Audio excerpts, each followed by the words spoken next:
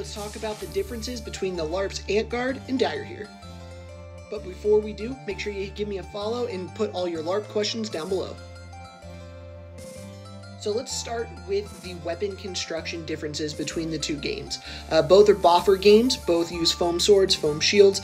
Amtgard does not have a limit on the weight of your weapons. Most Amtgard sticks and swords come in around that 6 to 8 ounce mark, where Dagorhir has a limit on, or has a mac, a minimum weight for all of their swords, which is 12 ounces. Generally between 12 and 14 is what you'll see most often.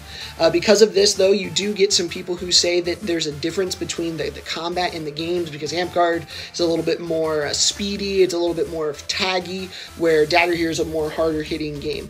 I've been playing both games for about 10 years, and I think that overall that is just a false narrative. Uh, I fight the same at both games. Uh, I've been playing both games for a long time.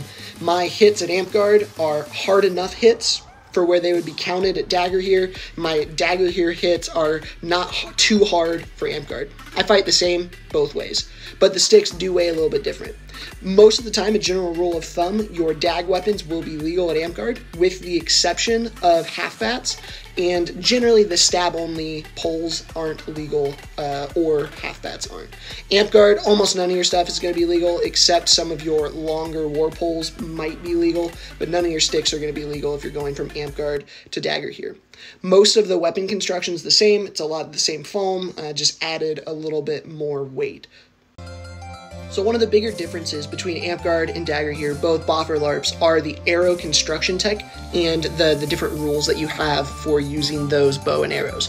So the Dagorhir, in general will have a fluffier arrow. Uh, they are larger, they're more square, they require more foam on them than the Amtgard arrows, which tend to be a little bit slimmer, a little bit smaller.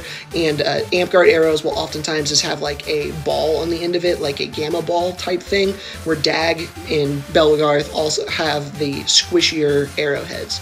The reason for this, in Dag, you are allowed to shoot people in the face with your arrows, so they have to be a little bit more uh, cushiony, a little bit more friendly. Where Amtgard, you're not allowed to shoot people in the face at all. And because of that, theirs tend to go a little further, be a little faster, hit a little harder. Uh, but the difference between the arrows, really, Dagorhir arrows are significantly more friendly. I would much rather be hit with dag arrows all day long, even if it's in the face. By far, in my opinion, the most unsafe part of Amtgard are the arrows. I have had two injuries in Amtgard in 10 years, 11 years of playing, both of which have been related to arrows. Uh, never had a single issue with Dagorhir arrows. Uh, both bows are pretty much the same. The poundage, I think, is a little different on the bow. Amtgard is 35 pound max. I forget what dag is. Both have a half draw rule where if you're super close to someone, you can't full draw with your bow. Uh, but other than that, the main difference you can shoot people in the face and dag, and their arrows and Dagorhir are a little bit squishier than what they are in Amtgard. So by far, this is the the biggest difference between the two games to me. Amtgard is set more like a D&D setting or like a, an RPG game that you'll play on your computer. You're going to select a class. Those classes have different abilities, different levels. The more you play them, the, you level up, the more, the stronger you get.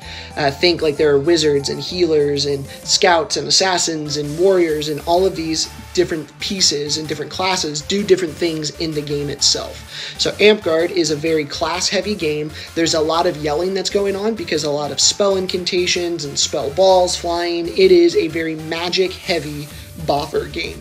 Where Dagorhir, on the other hand, only has one spell, and mm, you can add different stuff in, but mainly there's only one spell, and that's a heal spell. And theirs, there are no classes. And in Dagorhir, it is just fight, fight, fight, no classes at all. So in general, the games are pretty similar. Uh, you'll get like capture the flag on both games. You'll get capture the point. You'll get what we call node capture. Pretty much anything you find in Halo or Call of Duty, you can put into the battle game for both games.